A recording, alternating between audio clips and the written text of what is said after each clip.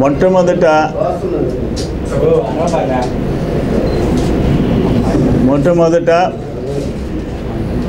ఈ రాష్ట్రంలో దేశంలో బీజేపీ తెలుగుదేశాన్ని గెలిపించినందుకు రాష్ట్ర ప్రజలకి నెల్లూరు జిల్లా ప్రజానీకానికి మేము మనస్ఫూర్తిగా కృతజ్ఞతలు తెలియజేస్తున్నాం. రెండోది ఏంటంటే నెల్లూరులో మేము అనుకున్న దానికంటే సీట్లు తగ్గినాయి. రవిచంద్ర గారు చెప్పినట్టు. అయినా మాకు రాష్ట్రంలో దేశంలో మేము అధికారంకి వచ్చినందుకు నిజంగా సంతోషపడుతున్నాం.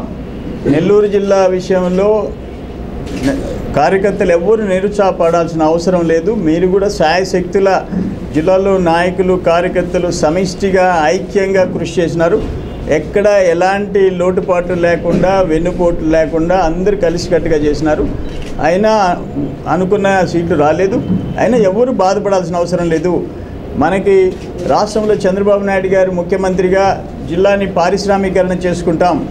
అదేవిధంగా మోడీ గారు ప్రధానమంత్రి వెంకయ్యనాయుడు గారు కేంద్ర మంత్రి అవుతారు. నెల్లూరు జిల్లాలో ప్రత్యేకంగా నిధులు తెచ్చేదానికి ఆయన శాయశక్తుల కృషి చేస్తారు. లాస్ట్ టైం కూడా గతంలో కూడా నెల్లూరు జిల్లా అభివృద్ధి ఎన్డీఏ టైంలోనే జరిగింది. తెలుగుదేశం టైంలో జరిగింది. ఒక ఓడరేవు నిర్మాణం అన్నా లేకపోతే మెడికల్ కాలేజీలు ఇంజనీరింగ్ కాలేజీలు నేషనల్ హైవే ఇవన్నీ ప్రత్యేకంగా ఆ, రోజు శ్రద్ధ పెట్టాము. అభివృద్ధి జరిగింది. మళ్ళీ పునరంకితం అవుతాం.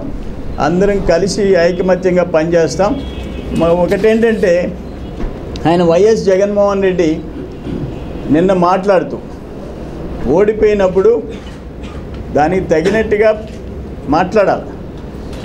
చంద్రబాబు నాయుడు తప్పుడు హామీలు ప్రజలు నమ్మారు అంటే మా హామీలు మేము నెరవేరుస్తాం. మేము తొమ్మిదిన్నర సంవత్సరాలు చంద్రబాబు నాయుడు ముఖ్యమంత్రిగా ప్రజల ఆస్తులకు ధర్మకర్తలాగా వ్యవహరించాడు. మీ మాదిరిగా మీరు చెప్పేది ఏమిటి? మీరు దోపిడీ చేస్తామని హామీ ఇచ్చారా? రాజశేఖర రెడ్డి ముఖ్యమంత్రి అయ్యేటప్పుడు మీరు ఇచ్చిన హామీలు ఏంటి?